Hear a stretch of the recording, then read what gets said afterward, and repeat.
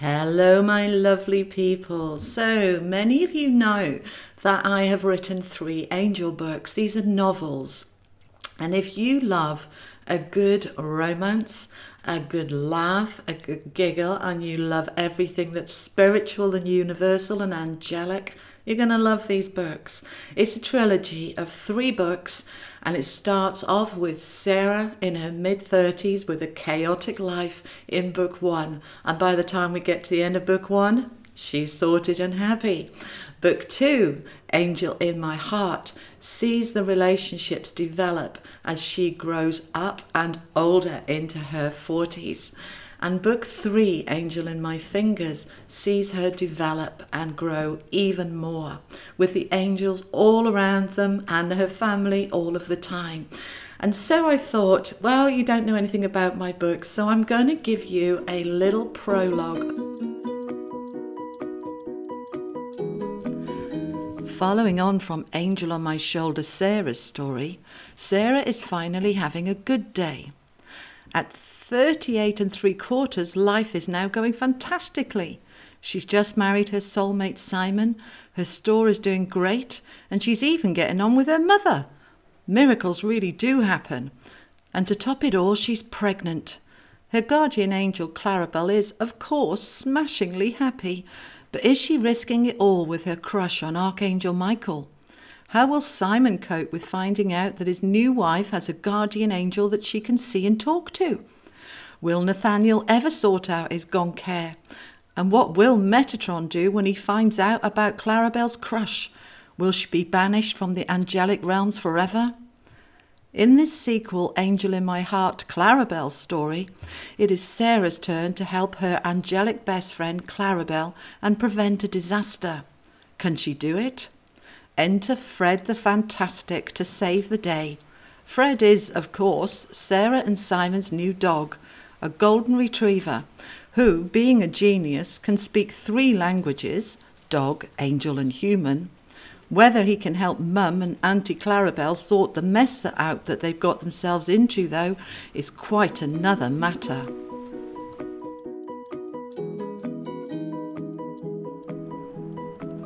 Clarabelle sat on clouds 362 singing. Someday my prince will come, someday we'll meet again, and away to his castle we'll go. To be forever happy, I know. Gosh, she just loved Snow White, just loved it. Someday when spring is here, she warbled on merrily, we'll find our love anew, and the birds will sing, and wedding bells will ring. Someday when my dreams come true. A huge, stupid grin was plastered all over her beautiful face as she contemplated the extraordinary events of yesterday at the awards ceremony. Had the mighty Archangel Michael really stroked her feathers and been a little suggestive with her? She knew she had fainted at the pure pleasure of it, right into his arms, of course. How utterly wonderful! Clarence wasn't amused, though, that was clear. Her brother had hardly said a word since the momentous event. Sulking. Typical brother. Bless. He'll come round eventually, although it may take some time, that was clear. Clarence was old school angel first class and didn't believe it right or proper that she had a crush on Archangel Michael. A.A. Mickey, as she liked to call him. Ideas above her station, Clarence had said. Metatron won't like it, Clarence had said and it wasn't right, Clarence had said. What was she thinking? Clarence had said. Well, tough. If her mighty AA Mickey wanted to stroke her feathers, he could, and that was that. And okay, so she might get in trouble with Metatron, but she couldn't really see how. Really, he wasn't that bad as bosses go, not really. He could be a bit stern, being in charge of all the angels and the voice of God and all that but she was just sure he'd be fine with it, just fine. And anyway, she hadn't glowed like this for eons, and she'd never seen her halo so bright, so there couldn't be anything wrong with that now, could there? Okay, she admitted to herself, so it wasn't exactly normal for angels to have inter angelsy relations up here. And okay, so yes, she'd never actually heard of an angelic wedding, but you never knew. There was always a first time. And besides, the angelic temple would make a super wedding venue. Clarabelle glowed as she thought back. She had first met A.A. Mickey about a year ago when they had called an inter Angelcy meeting to discuss her Sarah, all very serious stuff. She had never met a proper archangel before and had just been overawed by his beauty, majesty, power, and downright wonderfulness, not to mention that battle dress, that sword, and those wings. She'd been dumbstruck for days. Oh my goodness, he was just so handsome. There had been all the normal guardian angels present, of course, as well as the two archangels that they called in for extra help AA's Michael and Uriel. Uriel was lovely, of course, but he was no Michael. Michael, well, he was just something else. That meeting had been the best day ever.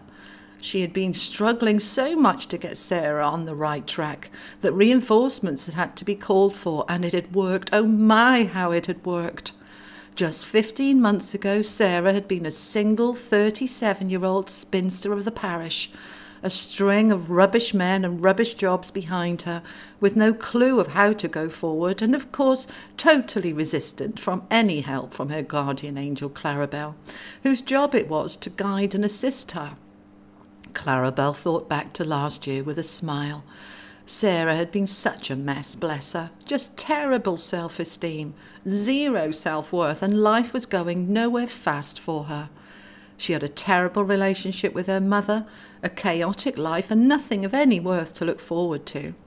When she had finally surrendered, that fateful day in the spring of last year, allowing Clarabelle to guide her at last, it had been the best day ever. Over the following months, they'd worked hard to sort out her worth, her esteem, her career, and finally, when she was strong enough, her mother. When all of that was done, Sarah had at last been ready for real love, and it had come in as soulmate Simon. The rest, as they say down there, is history. In the making, of course, but history nevertheless. There was Sarah now, laying on a beach in the Maldives on a honeymoon with Simon, their hands entwined as they lay together, soaking up the sun on the paradise island. Clarabelle could feel the love and the joy radiating out from them right up here, all the way to cloud 362. It was so powerful, their love. It was just lovely. And she just knew that they were all going to live happily ever after. Mind you, she thought, it had been hard work getting Sarah there, getting her ready. But with all the angels working together, and with a bit of help from her Mickey, of course, it had all worked out in the end. Clarabelle peeked down over the cloud towards the beach far below them on planet Earth and beamed. Not their usual cloud 322 overlooking Redfields where Sarah and Simon lived. This one, cloud 362, was halfway around the other side of the world, overlooking the paradise island where the happy couple were honeymooning. The tropical sun was shining brightly down onto the white sand, while the turquoise sea lapped gently at the shore their gentle waves soothing the happy couple as they half dozed on their sunbeds. Hands entwined, they lay together happily in their bliss. Ah, oh, it was just lovely to watch them bless. She was chuffed about the baby, too. How exciting! They would be delighted, of course, Sarah and Simon, when they found out. Both had wanted children for ages, but without the right partner and the right life, it just couldn't happen. Now, of course, it was different. All was in place and ready, and the angels could finally move things forward. Plans had been underway for the additional two souls to join them, although admittedly there had been a long delay, longer than anticipated. They'd been due several years earlier, but Sarah hadn't been ready for Simon, so practically the entire angelic realms had had to work together to move heaven and earth in order to stall the arrivals. Now it was finally the right time. Although, with Sarah nearly 39 and Simon coming 41, they needed to move fast. Angelica would be the first, of course, baby number one, followed by baby number two in a year or so, a son. That had been a close call, boy or girl first. She and Clarence had argued about it for ages before deciding to toss a feather for it. He, of course, wanting a boy first, being a typical male, but she had won. Smashing. so a girl it was. Angelica was on her way, forming nicely inside Sarah at this very moment. Anyway, Clarabelle thought it wasn't really Clarence's place to be interfering like that, and she had argued with him for an age over it. After all, it was Nathaniel who was Simon's angel, and it should have been down to her and Nat to sort it out, but Clarence had jumped in, insisting. To be fair, if it wasn't for Clarence, they wouldn't be all where they were now. And anyway, she'd won the feather toss. Ha! Sarah herself didn't have a clue yet, of course, that she was pregnant, but she'd find out soon enough. When she did, Clarabelle would be there for her as ever with her pearls of wisdom and support. After all, that was her job. She was Sarah's very own personal guardian angel. Thinking about the baby that was due in eight and a half months, Clarabelle beamed. She was looking forward to working with Seraphina, who'd been allocated to be baby Angelica's guardian angel. Her training and preparation were already underway, and Clarabelle knew she'd be working closely with her for the rest of Sarah and Angelica's lives. With a rustle of feathers to her left, she suddenly saw Nathaniel join her. They grinned as they watched the two lovebirds below. She and Nat had been working hard over the last year to bring the two soulmates together, and it hadn't always gone smoothly, particularly their first meeting, which had been nothing short of a disaster. But then again, it rarely ever did go smoothly with humans. The two angels sat chatting about the wedding, which had been wonderful, just wonderful. Clarabelle had loved being bridesmaid, and Nat was chuffed to bits at being best man, standing next to Simon proudly. His bright orange gonk hair had even behaved, and he'd been able to leave the cap that he usually wore to hide it behind for once. Sarah had walked down the aisle of the beautiful chapel, looking radiant on her brother's arm, followed by Clarabelle and Clarence, of course. Clarence was Clarabelle's brother, mentor, and saviour, bless him. Well, normally, anyway, although he really was giving her such a hard time over this Mickey thing at the moment. It was most unlike him to be a pain, most unlike him indeed, very out of character. Clarabelle's thoughts were darting back and forth without rhyme or reason at the moment. Now, where was she? Ah, yes, the wedding. Clarence had followed Ben down the aisle, making sure his ward didn't mess up as he gave his sister away.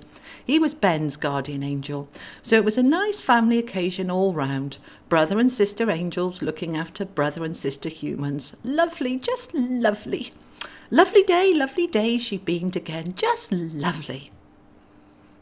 Clarabelle beamed at the memory of Sarah walking down the aisle on Ben's arm.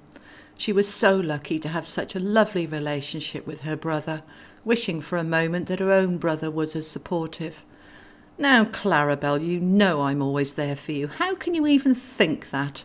A stern voice with a hint of hurt suddenly declared from behind her.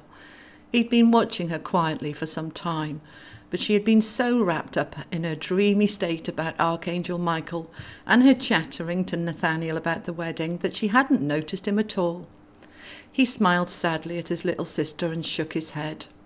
He'd been mentoring her for twenty years now, helping and supporting her to guide Sarah towards the right path, and had pulled more than a string or two on her behalf.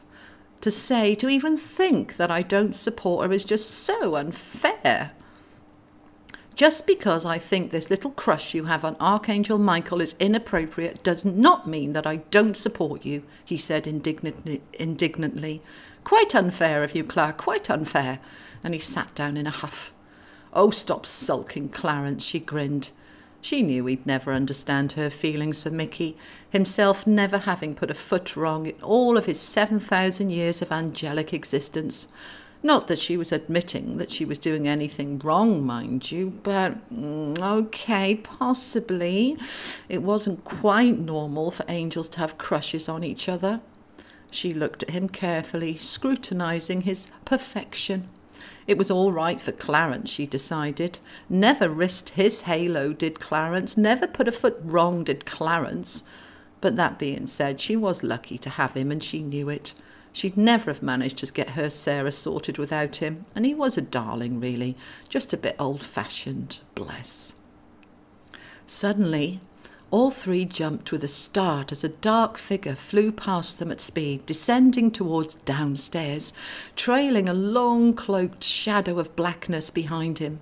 Hi, Fred! Clarabelle shouted after the figure, waving. Fred zoomed past, waving back, leaving a cloud shaking as he passed. Speeding again, Fred, Nat shouted after him. You'll get done one of these days, mate, and then you'll be stuffed. Will he ever learn? exclaimed Clarence crossly. They were all the same, these grim reapers, always speeding in their rush to get their quota filled. I know there's pressure down there in transport to meet targets, but really, can you not at least try to keep within the speed limits? he grumbled, smoothing his ruffled feathers down in annoyance.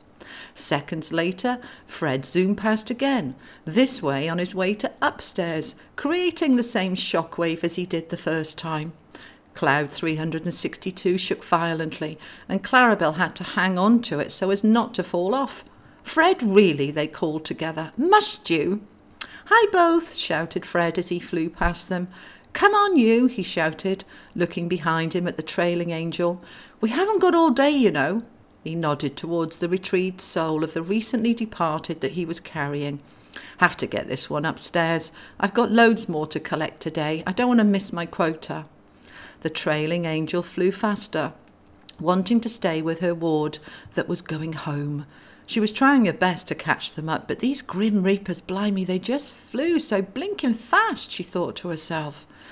Then all of a sudden, Fred yanked the brakes on and whipped around, doubling back to the three angels sitting on cloud 130, 362.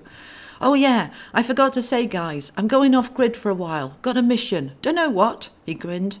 What? Where you going, Fred? asked Clarabelle. Dunno, mate. Just know the boss has reassigned me. Something to do with my PDP. Just wanted to say ta-da. He waved a dark, shadowy arm and then he was gone, trailing the black mist behind him again as he zoomed off upstairs with his delivery. What did his PDP say then? asked Clarabelle, wondering what could be so bad in a personal development plan that an angel of death would be reassigned. She didn't particularly care for the Grim Reapers as a whole, a bit too calculating and clinical for her liking. She knew that Fred had been in trouble for being a bit too gung ho with his collections, but she'd gotten used to him over the years, speeding and zooming in and out as he collected the departed. She knew that a few of the guardian angels had complained about the way he collected his wards so roughly, there had been several complaints here and there, and they'd all reflected in Fred's PDP quite badly. I think it was something about the way he carts them off a bit quick. Too businesslike or something, Nat said. That's what I heard anyway. Bit too harsh is Fred, even for a Grim Reaper. I heard on the grapevine that he's got some training to do, apparently. Ooh, that's almost a demotion, isn't it? Clarabelle asked with alarm. Not at all, reassured Clarence. It's just a matter of softening up a bit, that's all. He'll be fine. The boss knows what he's doing. Don't you fret, dear. Clarabelle, Clarence, and Nat watched Fred go, all thinking the same thing that they'd hate to be in transport like Fred, just hate it. They all loved their, their jobs as guardian angels as much as each other. I couldn't work in transport, Nat, be a grim reaper. Could you? Asked Clarabelle, thinking what a chore it must be up and down all day, collecting souls that had passed on, transporting them to upstairs, unloading them, then back down again for more. So boring. No, mate, never, replied Nat. Couldn't do it, just couldn't. I wonder what they have to do to get promoted, to get out of there and be like us, she asked curiously. Not a clue, mate, not a clue. Nat shook his head. He wasn't the brightest spark in the realms, he knew that. Still had loads to learn, same as Clarabelle. He was surprised that Clarence didn't know, though. Clarence usually knew everything. The three pondered the promotions and demotions that were known to happen within the angelic realms for a few moments, happy in their jobs, wondering how it all worked in the other classes like the Grim Reapers. Then they returned their attention to the couple below. She's going to burn if she's not careful, Clarabelle worried, noticing Sarah was turning rather an alarming shade of pink as she lay on the white sand, the tropical sun blazing down onto her fragile skin. You know their skin is more susceptible to the sun when they're pregnant. Class, she's got factor 150 or something on, mate. She'll be fine, Nat assured. Just fine, honest, mate. Simon's plastered it on her. I made sure of that, he grinned. Yes, but she's pregnant now. It's different, she worried. Won't it be just lovely when she finds out about the baby? She declared happily, not for the first time.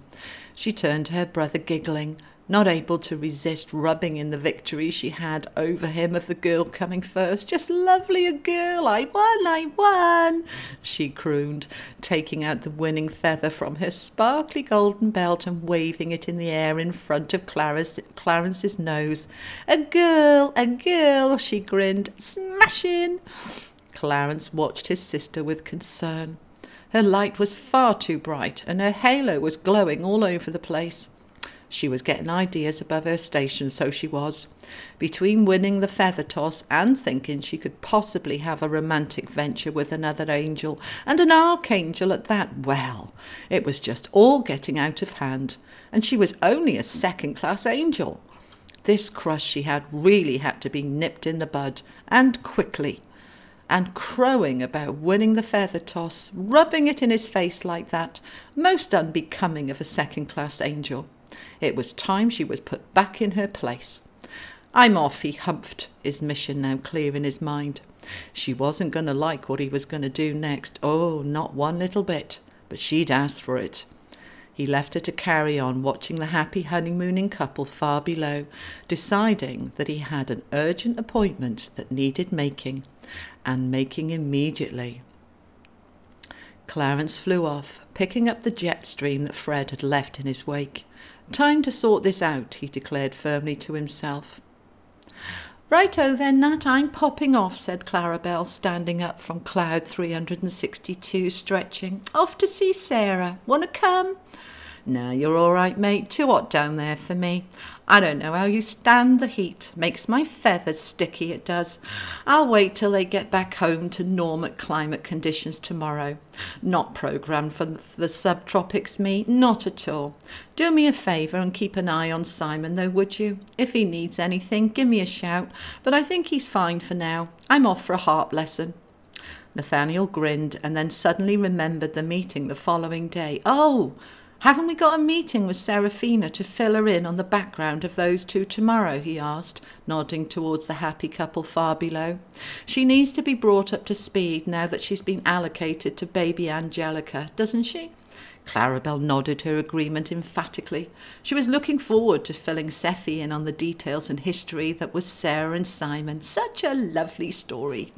Righto then, see you tomorrow. Ta-ra for now. Nathaniel waved as he flew off upstairs, leaving Clarabelle poised for take-off to downstairs and their wards, although he wondered why she was so bothered. Sarah was so sorted now there was really little for Clarabelle to do, but he knew she'd find something. Couldn't sit still for two minutes, that one. Things to do, things to do, Clarabelle trilled, and flew down to catch up with the latest news from Sarah, singing her favourite song of the moment as she zoomed down, her song from Snow White. What was it that Mr. Disney had said? All our dreams can come true if we have the courage to pursue them. Yes, indeedy, decided Clarabelle, thinking about her Mickey again. Smashing. She sang loudly and clearly, her song carrying across the sky as she flew, wings outstretched, grinning serenely. Some day my prince will come.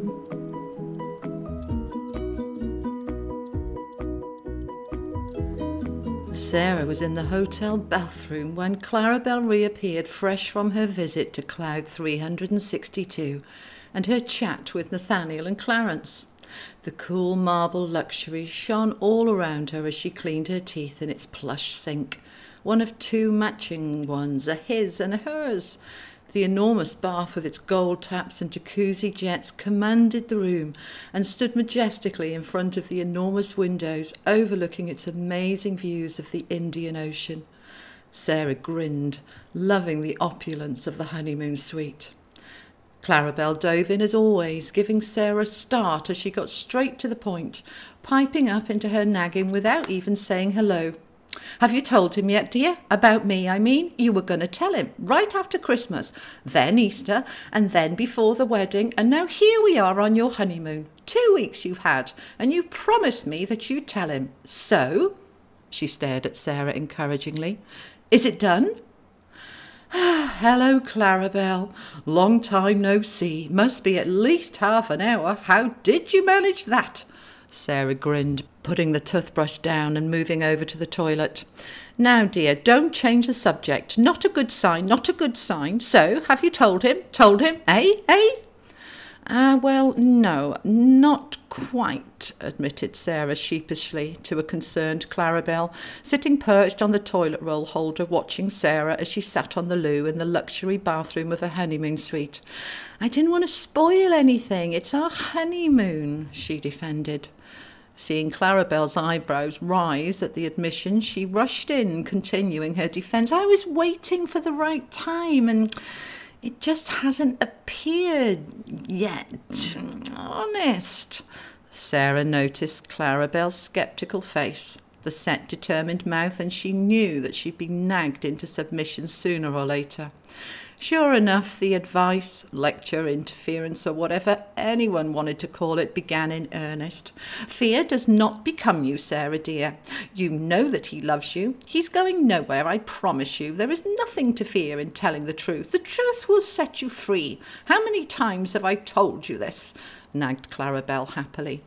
It had taken her over half of Sarah's life to get her to the point of granting Clarabelle permission to guide her, and now that she had that said permission, she just loved these little opportunities to interfere, relished them, in fact.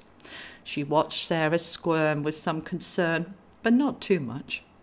Yes, well, Claire, it's easier said than done, admitting to your brand new husband that you have a guardian angel called Clarabelle, who sits on your shoulder most of the time, is about six inches tall, and who you see and talk to every day. He'll have me locked up. He will not have you locked up, Sarah, and you know it. He may be a little, how do you say, freaked out by it all, but he will get over it and he will get used to it. Secrets and lies are not good between a couple, you know, breed doubts, and before you know it, those doubts have grown into more, and lies, well, they just grow and grow, and on it goes. Okay, okay, don't nag, and I don't lie. Well, not much, and only when I have to. She saw Clarabelle's left eyebrow rise again at precisely the moment that Simon called out through the closed door to her. You okay in there, babe? Sounds like you're talking to someone. Yourself again, or have you got a strange man in there that I don't know about? Simon laughed from the other side of the bathroom door. Singing, darling, just singing. Won't be long, be out soon. Sarah didn't want to look at Clarabelle's face to see the triumph in her eyes at this little, nay, minute, tiny, weeny lie, but she couldn't avoid it as Clarabelle bent over towards her, sticking her face right under Sarah's nose as she grinned and said, So, you don't lie to him, eh? Hmm, of course you don't. What was that then, eh, eh? Okay, okay, you win. I've been putting it off long enough, I know. I'll tell him when we get home, I promise. But you'd better be there with some help when I do. This is going to freak him out big time. But of course, child, of course I'll be there, aren't I? Always? Hmm, I guess so. She watched Clarabelle's face as it changed from scepticism to disbelief and corrected her statement quickly. Yes, yes, you're always there. I know, sorry. And I will be there for you when you tell him, and it will all be fine, I promise, she reassured a clearly reluctant Sarah. Thank you. Now, could you please get off the toilet roll holder so that I can get out of here? She laughed. Go on, shoo. See you when I get home. Go and play in a cloud or something. And Claire, enjoy your flight. And with any luck, I'll enjoy mine too, and there won't be too much turbulence. I'll make sure of it, my dear. You just leave it to me, beamed Clarabelle, popping off upstairs to order some calm weather for the next morning and the return flight of the newlywed Mr. and Mrs. S and S Brown. She'd do her best to make it as perfect as possible for them both, and with any luck, she might even bump into A.A. Mickey upstairs on her way to the weather station. smashing, she beamed, just smashing.